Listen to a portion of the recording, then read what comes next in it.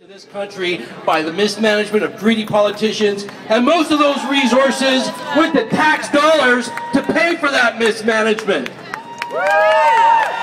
You know, I became an activist living out in Ucluelet as I watched the deforestation out there and the logging of the last old growth rainforest, Clayoquot Sound, because of hemp. And I've been a cannabis activist for 20 years because I know with this plant, I know with this plant we can replace uh, one acre of hemp will replace four acres of trees. We can make all our paper out of hemp instead of cutting down 50% of our trees. I know we can feed the world's hungry with this plant.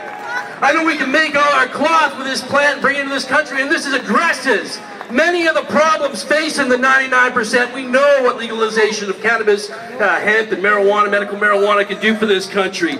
Instead, this government, this government the Harper government, they've decided to turn their machinations on the people, man, with their omnibus crime bill. You know, the Harper government tries to play that. Uh, we don't have the same problem here in Canada with the banks and corporations, and stuff like that. Well, maybe that's true. Maybe the problem here in Canada is with a fucking Harper government.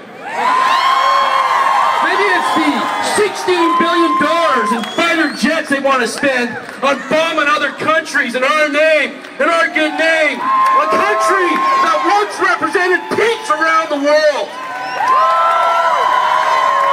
I'm mad as hell and I'm not going to take it anymore and that's what this event is about.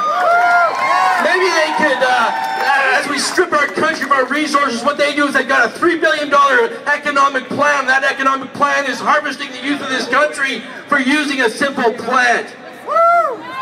They're planning on putting anybody that grows more than five five plants in jail for uh, mandatory minimum prison sentences. And we see what these sentences have done in the United States. The same drug war, the same mandatory minimum minimum sentences. With 5% of the world's population, the United States has 25% of the world's prisoners.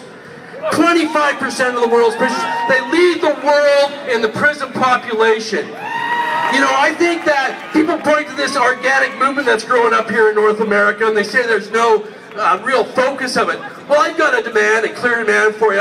Why don't we take that $3 billion that they have slated for their omnibus crime bill to put thousands of Canadians in new jails, private jails, uh, conservative crony jails, and we direct that to housing, education, drug treatment.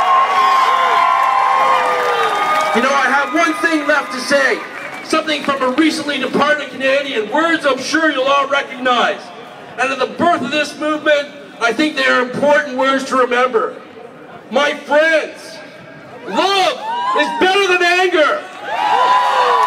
Hope is better than fear. Optimism is better than despair. So let us be loving, hopeful, and optimistic and we'll change the world. Canada, we got your back.